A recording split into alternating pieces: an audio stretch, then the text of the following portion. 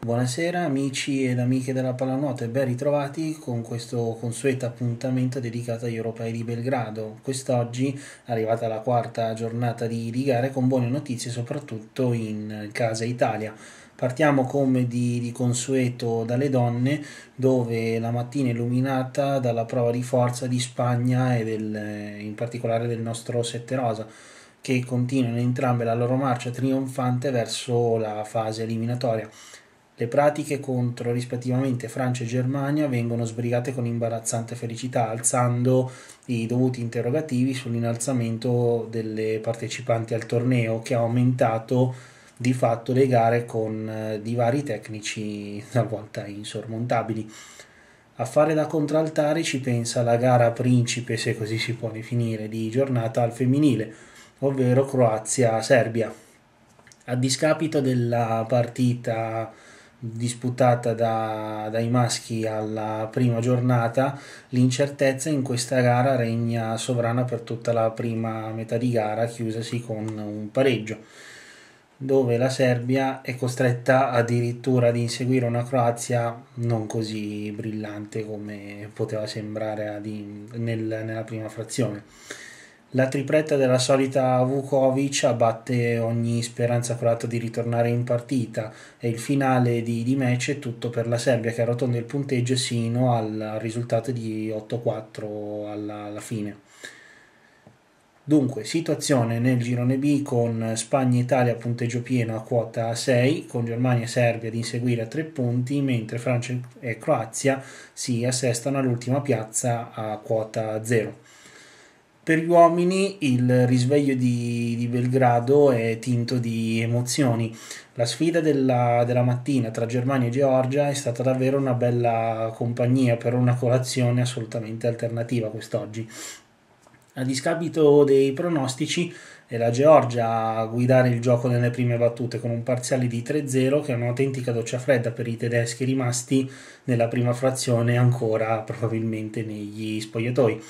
I ragazzi di Vessinger eh, rosicchiano lo svantaggio nel giro di due tempi grazie a un Nosek autentico trascinatore.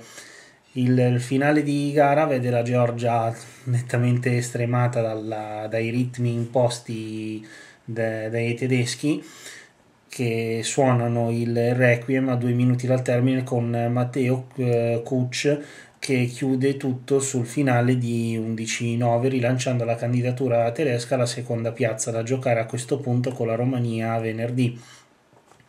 Proprio i rumeni oggi cercano di, di fare da guastafesse ai danni del Settebello, ma i ragazzi di campagna dopo un avvio rilento ci mettono davvero poco a ridimensionare l'avversaria, concedendosi un po' di più nel finale con, quando aveva un ampio margine da gestire eh, sino ad arrivare all'11-5 finale guadagnando i tre punti preziosi per la qualifica da leader del girone C. Nettamente più devastante l'azione dei greci sulla piccola Turchia che col 21-6 incassato quest'oggi si candida come probabile avversaria del Settebello negli ottavi di finale.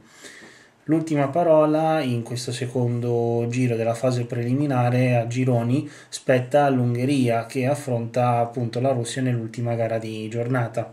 Attimi di stupore o panico in base alla vostra scelta del, del sostegno nella gara di questa sera.